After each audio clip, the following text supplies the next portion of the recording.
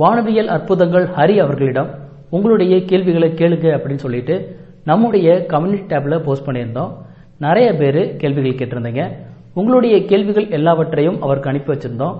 உங்கள் கேள்விகளுக்கு அவர் என்ன பதில் சொல்லியிருக்காரு அப்படின்றத வீடியோக்குள்ள போய் பார்க்கலாம்.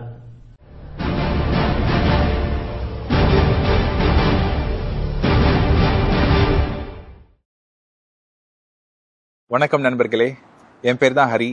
வானவியல் அற்புதங்கள் சேனலில் ஆஸ்ட்ரானமி பற்றி வீடியோஸ் போட்டுட்டு இருக்கிறது நான் தான் சயின்ஸ் ஃபேக்ஷன் தமிழ் சேனலில் உங்களை சந்திக்கிறது எனக்கு ரொம்ப சந்தோஷமா இருக்கு. Science fiction Tamil channel community டேப்ல ask anything to எக்ஸ்பர்ட்ன்ற டாப்பிக்கில் உங்ககிட்ட இருந்து நிறைய கொஸ்டின்ஸ் வாங்கி எனக்கு அனுப்பிச்சிருந்தாரு நம்ம மொழி. அவர் அனுப்பின எல்லா கேள்விகளையும் நான் படித்தேன். எனக்கு பிடித்த நிறைய கேள்விகள் அதில் நீங்கள் கேட்டிருந்தீங்க. நிறைய இன்ட்ரெஸ்டிங்கான கேள்விகளும் நீங்கள் எனக்கு கேட்டிருந்தீங்க. அதில் சில கேள்விகளுக்காக நான் ஏற்கனவே நம்ம சேனல் வீடியோஸ் போட்டிருந்தேன். உதாரணத்துக்கு டைட்டன் மூன் பத்தி வானம் ஏன் நீல கலர்ல இருக்குன்றத பத்தி கிரகங்கள் ஏன் நீள்வட்ட பாதையில சுத்துது ஏன் நிலவோட ஒரே சைடு தான் நம்ம பார்க்க முடியுது இதெல்லாம். ஸோ இப்போ நான் பிக் பண்ண போற கேள்விகள் எல்லாம் நிறைய லைக்ஸ் வாங்கினேன் முதல் அஞ்சு கேள்விகள். அதுக்கப்புறம் எனக்கு பிடிச்ச சில கேள்விகள் அப்புறம் கொஞ்சம் இன்ட்ரெஸ்டிங்கான கேள்விகள். பதில் சொல்லாத கேள்விகளுக்காக என்னை தப்பா எடுத்துக்காதீங்க. இன்னொரு முறை இந்த ஆப்பர்ச்சுனிட்டி எனக்கு கிடைச்சது அப்படின்னா கண்டிப்பா உங்க எல்லாரோட கேள்விகளுக்காகவும் நான் பதில் சொல்ல ட்ரை பண்றேன். ஓகே முதல் கேள்விக்கு இப்ப போலாம். குரு ராகவேந்திரன் அப்படின்றவரு டார்க் மேட்டருக்கும் டார்க் எனர்ஜிக்கும் என்ன டிஃபரன்ஸ் அப்படின்னு கேட்டிருந்தாரு. இது எனக்கு ரொம்ப பிடிச்ச டாபிக் ஏன்னா நம்ம யூனிவர்ஸ் எவ்வளவு ஒரு அற்புதமான இடங்கிறத இந்த dark matter and dark energy நமக்கு காமிக்குது. அது எப்படின்னா இது வரைக்கும் நமக்கு டார்க் மேட்டர் அண்ட் டார்க் எனர்ஜினா என்னன்னே தெரியாது. ஆனா அப்படி ஒன்று இருந்தா மட்டும்தான் நம்மளால சில விஷயங்களை எக்ஸ்பிளைன் பண்ண முடியும். நம்ம யூனிவர்ஸ்ல கிட்டத்தட்ட நூறு பில்லியன் கேலக்சிகள் இருக்கு. அந்த ஒரு ஒரு கேலக்சிலையும் கோடான கோடி நட்சத்திரங்கள் இருக்கு. என்னதான் இவ்வளவு நட்சத்திரங்கள் நம்ம யூனிவர்ஸ்ல இருந்தாலும் இது எல்லாமே வெறும் அஞ்சு பெர்சன்ட் மட்டும்தான். இந்த அஞ்சு பெர்சன்ட் தவிர மிச்சம் இருக்கிறதுல இருபது பெர்சன்ட் டார்க் மேட்டர் மிச்சம் இருக்கிற எழுபத்தஞ்சு பெர்சன்ட் டார்க் எனர்ஜி முதல்ல டார்க் மேட்டரை பத்தி பார்க்கலாம். டார்க் மேட்டர்னா என்னன்றதை விட அது என்ன இல்லைன்னு தான் நமக்கு தெரியும். நம்ம டே டு டே லைஃப்ல யூஸ் பண்ற பொருட்கள் மாதிரி டார்க் மேட்டரை நம்மளால பார்க்க முடியாது. ஆக்சுவலி எந்த ஒரு எலக்ட்ரோ மேக்னெட்டிக் ஸ்பெக்ட்ரம்லையும் அது நமக்கு தெரியாது. உதாரணத்துக்கு இன்ஃப்ராரெட் அண்ட் அல்ட்ரா வயலட் அப்படி அதை நம்மளால் பார்க்க முடியாதுன்னா அப்படி ஒன்று இருக்கிறது நமக்கு எப்படி தெரியும்? விஞ்ஞானிகள் நம்ம மில்கிவேயோட விளிம்புகளில் இருக்கிற நட்சத்திரங்களை ஆய்வு பண்ணிட்டு இருந்தப்போ ஒரு வித்தியாசமான நிகழ்வை கண்டுபிடிச்சாங்க. இந்த நிகழ்வு உங்களுக்கு புரியணும்னா உங்களுக்கு Kepler's law of planetary motion தெரிஞ்சிருக்கணும். நம்ம சூரியன் எப்படி கிரகங்களை சுத்துதுன்றதை விவரிக்கிறது தான் இந்த கெப்லர்ஸ் லாஸ் அந்த லாஸ்ல செகண்ட் லா என்னன்னா எந்த ஒரு கிரகமோ விண்கல்லோ ஒரு சூரியனுக்கு பக்கத்துல இருக்கிறப்போ அது சூரியனை வேகமா சுத்தும். அதே பொருள் சூரியனுக்கு தள்ளி இருக்கிறப்போ பொறுமையா சுத்தும். இப்போ இதே கான்செப்டை நம்ம ஒரு கேலக்சிக்கு அப்ளை பண்ண முடியாது. இதுதான் நம்ம விஞ்ஞானிகள் கண்டுபிடிச்ச அந்த நிகழ்வு. பட் அது எப்படி இருக்க முடியும்? சூரிய குடும்பத்துக்கு அப்ளை பண்ற ஒரு அறிவியல் நம்ம பிரபஞ்சத்துக்கும் அப்ளை பண்ண முடியணும் தானே? நம்ம கேலக்சிக்கு நடுவில் இருக்கிற ஒரு பிளாக் ஹோலை சுற்றுற நட்சத்திரங்கள் அந்த பிளாக் ஹோலுக்கு பக்கத்தில் இருக்கிறப்போ வேகமாக சுற்றணும் அதே மாதிரி அந்த பிளாக் ஹோலுக்கு தள்ளி இருக்கிறப்போ நட்சத்திரங்கள் பொறுமையாக சுற்றணும் Kepler's law of planetary motion நமக்கு சொல்கிற ஒரு விஷயம். ஆனால் அது அப்படி நடக்கிறது இல்லை பிளாக் ஹோலுக்கு பக்கத்தில் இருக்கிற நட்சத்திரமும் கோடான கோடி ஒளி வருடங்கள் தள்ளி இருக்கிற நட்சத்திரமும் ஆல்மோஸ்ட் ஒரே வேகத்தில் தான் அந்த பிளாக் ஹோலை சுற்றும் நம்ம விஞ்ஞானிகளால் இது எப்படி நடக்குதுன்ட்டு விளக்க முடியல. இந்த ஒரு விளைவு நடக்கணும்னா நமக்கு தெரியாத ஒரு விஷயம் நம்ம கேலக்சியோட நடுவில் இருக்கிற நட்சத்திரங்களையும் விளிம்புல இருக்கிற நட்சத்திரங்களையும் ஒரே வேகத்தில் சுத்த வைக்குதுன்னு முடிவு பண்ணாங்க. அந்த தெரியாத விஷயத்துக்கு பேர் தான் டார்க் மேட்டர் சிம்பிளா சொல்லணும்னா டார்க் மேட்டர் தான் கேலக்சிகளை ஒன்றுபடுத்தி வச்சிருக்கிற ஒரு பொருள். இது எப்படி வேலை செய்யுது? அது எதுவால உருவானதுன்னு நமக்கு எதுவுமே தெரியாது. அடுத்து டார்க் எனர்ஜி பத்தி பார்க்கலாம். டார்க் எனர்ஜியை எப்படி கண்டுபிடிச்சாங்கன்னு தெரிஞ்சுக்க நீங்க நம்ம யூனிவர்ஸ் எப்படி உருவாச்சுன்னு தெரிஞ்சுக்கணும். நம்ம யூனிவர்ஸ் ஒரு சின்ன புள்ளில உருவானது.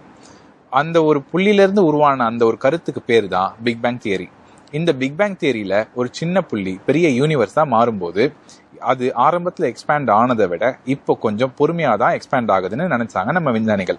ஆயிரத்தி தொள்ளாயிரத்தி தொண்ணூறுகளில் நம்ம யூனிவர்ஸ் எவ்வளோ வேகமாக எக்ஸ்பேண்ட் ஆகுதுன்னு ஆய்வு பண்ணிட்டு இருக்கிறப்போ ஒரு வித்தியாசமான விஷயத்த நம்ம விஞ்ஞானிகள் கண்டுபிடிச்சாங்க.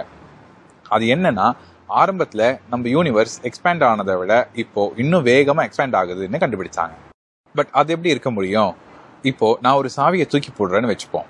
இந்த சாவி உயரமாக கொஞ்ச தூரம் போயிட்டு திரும்ப கீழே தானே வரணும். பட் நம்ம தூக்கி போட்ட சாவி ஆரம்பத்துல இருந்த வேகத்தை விட இன்னும் அதிகமான வேகத்துல வானத்துக்கு போச்சுன்னா அது உங்களால நம்ப முடியுமா? பட் அது மாதிரி தான் நம்ம யூனிவர்ஸ் எக்ஸ்பேண்ட் ஆகுது.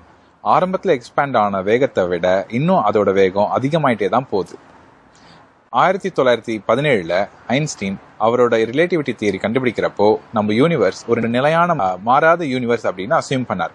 அப்படி அசியூம் பண்றப்போ அவர் கண்டுபிடிச்ச ஃபீல்ட் ஈக்குவேஷன்ஸ் கரெக்டான ஆன்சரை கொடுக்கல. அந்த ஈக்குவேஷன் கரெக்டான ஆன்சரை கொடுக்கணுன்றதுக்காக அவர் காஸ்மலாஜிக்கல் கான்ஸ்டன்ட் அப்படின்றத அவரோட ஃபீல்ட் ஈக்குவேஷன்ல ஆட் பண்ணார். ஆயிரத்தி தொள்ளாயிரத்தி முப்பத்தி ஒன்றில் எட்வின் ஹபிள்ன்றவர் அவர் தான் நம்ம யூனிவர்ஸ் எக்ஸ்பேண்ட் ஆகுதுன்னு கண்டுபிடிச்சார். ஐன்ஸ்டீன் இந்த கண்டுபிடிப்பை பார்த்ததும் அவரோட ஃபீல்ட் ஈக்குவேஷன்ஸ்ல இருந்து காஸ்மலாஜிக்கல் கான்ஸ்டன்ட்டை ரிமூவ் பண்ணிட்டார். ஆயிரத்தி தொள்ளாயிரத்தி தொண்ணூத்தி ஏழு வரைக்கும் இந்த காஸ்மலாஜிக்கல் கான்ஸ்டன்ட்டை யாரும் பெருசா கண்டுக்கல.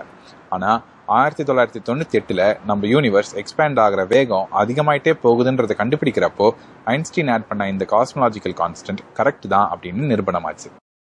இந்த காஸ்மலாஜிக்கல் கான்ஸ்டன்ட் எதை குறிக்குதுன்னா எல்லா காலி இடங்களுக்கும் ஒரு எனர்ஜி இருக்கும். இப்போ இந்த எனர்ஜி நம்ம யூனிவர்ஸ் ஆரம்பத்துல உருவான காலத்துல கொஞ்சமா தான் இருந்திருக்கும். ஏன்னா அப்போ ஸ்பேஸ் கொஞ்சமா தான் இருந்துச்சு. யூனிவர்ஸ் கொஞ்சம் கொஞ்சமா வளர வளர ஸ்பேஸ் அதிகமாச்சு. இந்த அதிகமான ஸ்பேஸ்னால அந்த ஸ்பேஸ்களுக்கு இருக்கக்கூடிய அந்த எனர்ஜி அதிகமாச்சு. அந்த அதிகப்படியான எனர்ஜி நம்ம யூனிவர்ஸை இன்னும் வேகமாக வளர வைக்குது. அந்த ஸ்பேஸ்க்கு இருக்கிற ஒரு எனர்ஜி தான் டார்க் எனர்ஜி சிம்பிளாக சொல்லணும்னா நம்ம யூனிவர்ஸ் வேகமாக நகர்ந்து போக காரணமாக இருக்கிறது இந்த டார்க் எனர்ஜி தான். டார்க் மேட்டர் மாதிரியே இந்த இதை பற்றியும் இந்த டார்க் எனர்ஜி பற்றியும் நமக்கு எதுவுமே தெரியாது. அது எதுவால் உருவாச்சுன்னு நமக்கு தெரியாது.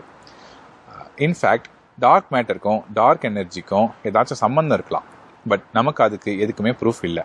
எதிர்காலத்தில் என்னைக்காவது ஒரு நாள் டார்க் மேட்டர் அண்ட் டார்க் எனர்ஜினா என்னன்னு நம்ம கண்டுபிடிக்கலாம். பட் அது வரைக்கும் நாம் ஆய்வு பண்ணிகிட்டே தான் இருக்கணும். அடுத்த கேள்வி ஹக்கீம் ஹுசைன் அப்படின்றவர் ஒரு பிளானட்டோட ஏஜ் எதை வச்சு முடிவு பண்ணுறாங்க அப்படின்னு கேட்டிருக்காரு. எந்த ஒரு பொருளோட ஏஜும் அந்த பொருளில் இருக்கிற ரேடியோ ஆக்டிவ் எலிமெண்ட்ஸ் எவ்வளோ டீகே ஆகுது அப்படின்றத வச்சு தான் நம்ம கண்டுபிடிக்கிறோம். நம்ம பூமியில் இருக்கிற பாறைகள் நிலவுல இருக்கிற பாறைகள் செவ்வாயில இருக்கிற பாறைகள் இது எல்லாத்தையும் ஆய்வு பண்ணப்போ இது எல்லாமே நாலரை பில்லியன் வருடங்களுக்கு முன்னாடி உருவாகி இருக்கணும்னு கண்டுபிடிச்சாங்க. உதாரணத்துக்கு நம்ம பூமியில கார்பன் 14 அப்படின்ற ஒரு எலிமெண்ட்டை வச்சு தான் நம்ம ஏஜ் கண்டுபிடிக்கிறோம். அது மாதிரி நிறைய விஷயங்கள் மற்ற பிளானட்ஸ்ல இருந்து கண்டுபிடிக்க உதவப்படுகிறது. அடுத்த கேள்வி தினேஷ் ஐன்ஸ்டீன் அப்படின்றவரு தன்னுள் இருந்து சுயமாக எப்படி சூரியன் சக்தியை உருவாக்கிறது அப்படின்ட்டு கேட்டிருக்காரு. அதை பார்க்கலாம். ஆஹ் இதுவும் எனக்கு ஒரு பிடிச்ச கேள்வி. நம்ம சூரியன் நம்மளால இமேஜின் பண்ணி பார்க்க முடியாத அளவுக்கு பெருசு. நம்ம சூரியன் தானா சக்தி உருவாக முக்கியமான காரணம் ஈர்ப்பு விசை தான். ஆனா ஈர்ப்பு விசைனால இந்த சக்தி உருவாகல. ஈர்ப்பு விசை ஹைட்ரஜன் புகைய ஒன்னா திரட்டி ஒரு உருண்டை ஆக்குனது தான் நம்ம சூரியன். இந்த ஒன்று திரட்டப்பட்ட புகைக்கு நடுவில் ப்ரெஷர் ரொம்ப அதிகமாக இருக்கும். இந்த ப்ரெஷர் அதிகமாக இருக்கிறதால டெம்பரேச்சர் அதிகமாகும். இந்த டெம்பரேச்சர் பதினாலு மில்லியன் டிகிரிகள் ரீச் ஆகிறப்போ ரெண்டு ஹைட்ரஜன் ஆட்டம்ஸ் ஒன்னா இணைஞ்சு ஹீலியம் உருவாகும். இந்த ஹீலியம் ஆட்டம் உருவாகிறப்போ நீங்க கேட்குற சூரிய ஆற்றல் வெளிப்படும். அடுத்த கேள்வி என் அருண் டிவிகேன்றவர் பெர்முடா ட்ரையாங்கிள் மர்மமா உண்மையா அப்படின்னு கேட்டிருக்காரு. பெர்முடா ட்ரையாங்கிள் உண்மைதான். பெர்முடா ஃப்ளாரிடா போர்ட்டோரிக்கோ இது மூணு ஊருக்கும் நடுவில் இருக்கிற பகுதியை தான் நம்ம பெர்முடா ட்ரையாங்கிள்னு சொல்றோம். அந்த ட்ரையாங்கிள்க்கு உள்ள ஏலியன்ஸ் இருக்கிறதாவும் அங்க போறவங்க திரும்பி வரமாட்றாங்கன்னு நிறைய கதைகள் இருக்கு. எனக்கு தெரிஞ்சு அது எல்லாமே கட்டுக்கதை தான் அதை நம்ப வேண்டாம். அடுத்த கேள்வி மறுபடியும் நம்ம தினேஷ் ஐன்ஸ்டீன் தான் கேட்டிருக்காரு. நம்ம கேலக்சிக்கு நடுவில் என்ன இருக்கு? அண்ட் அதை நம்ம கண்டுபிடிச்சிட்டோமா இல்லையா அப்படின்னு கேட்டிருக்காரு. நம்ம மில்கிவே கேலக்சிக்கு நடுவில் ஒரு சூப்பர் மேசிவ் பிளாக் ஹோல் இருக்குன்னு நமக்கு தெரியும். இந்த பிளாக் ஹோல் நம்ம சூரியனை விட நாலு மில்லியன் மடங்கு அடர்த்தியானது. இந்த பிளாக் ஹோல் நம்ம பூமியில இருந்து இருபத்தி ஆறாயிரம் ஒளியாண்டுகள் ஆண்டுகள் தூரத்தில் இருக்குன்னு நமக்கு தெரியும். இதே மாதிரி தியரிஸ் தப்புன்னு ப்ரூவ் பண்ணப்பட்டிருக்கு. இதுக்கான உதாரணம் தான் லூமினஃபரஸ் ஈத்தர்